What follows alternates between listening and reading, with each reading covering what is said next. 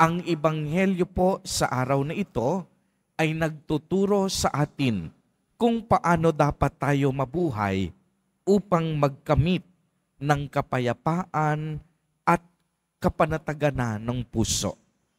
Una, igalang natin ang batas sa lipunan. Upang maging maayos ang ating pamumuhay, makiisa tayo sa proyekto ng pamahalaan lalong-lalo na sa pagtataguyod ng buhay at pagpapatibay ng pamilya. Mga programang mangangalaga sa ating kapaligiran at kalikasan. Mga proyektong magsusulong ng tamang moralidad. Mga programang mag-aangat sa kalidad ng edukasyon ng kabataan at mga proyektong mag-aangat sa kabuhayan ng mga mahihirap at nangangailangan. Hindi sinabi sa atin ni Jesus Nazareno na labagin natin ang utos ng pamahalaan. Mismong si Jesus, noong siya ay nagkatawang tao, bagamat siya'y Diyos, naging masunurin sa batas ng tao. Siya mismo nagbayad ng buwis. At ito ay narinig natin sa ating ebanghelyo ngayon. Dahil alam niya na ang buwis dapat nakalaan para sa mga dukha at mas higit na nangangailangang mamamayan ng lipunan. Ikalawa, sundin din natin ng buong puso ang batas at utos ng Diyos. Ito ang pinakamahalaga sa lahat. Alam natin na ang lahat ng mga batas, yan po ay hindi hadlang o sagabal.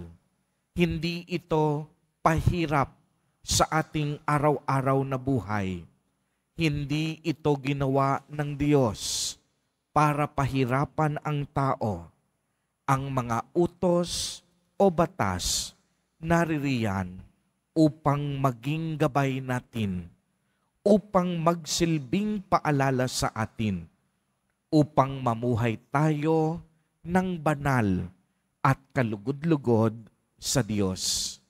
Kaya nga ang isang taong hindi palagawa ng kasalanan, malaya siya sa mga utos o batas ng Diyos. Uulitin ko po sapagkat ito'y napakahalaga. Ang isang taong hindi palagawa ng kasalanan, maituturing natin na siya ay malaya sa batas o utos ng Diyos. Sa paanong paraan?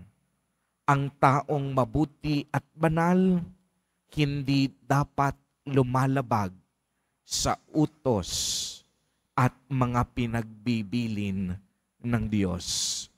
At kung siya ay hindi lumalabag sa kautusan ng Diyos, ang mga batas hindi mahirap na sundin para sa Kanya. Ang mga batas sa mga taong masunurin, hindi ito pabigat para sa kanila mga kapatid kay Kristo at mga kadiboto.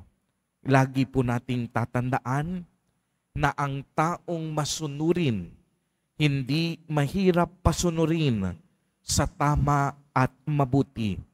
Ang taong masunurin, panig lagi sa tama at katotohanan. Kaya naman, masasabi natin na ang tunay na deboto sumusunod sa batas ng tao at lipunan at higit sa lahat, sumusunod sa batas at utos ng Diyos. Amen. Purihin at dakilain natin ang ating Panginoon, ang mahal na poong Jesus Nazareno.